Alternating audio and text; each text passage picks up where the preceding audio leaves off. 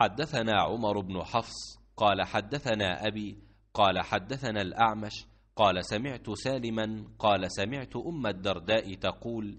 دخل علي أبو الدرداء وهو مغضب فقلت ما أغضبك فقال والله ما أعرف من أمة محمد صلى الله عليه وسلم شيئا إلا أنهم يصلون جميعا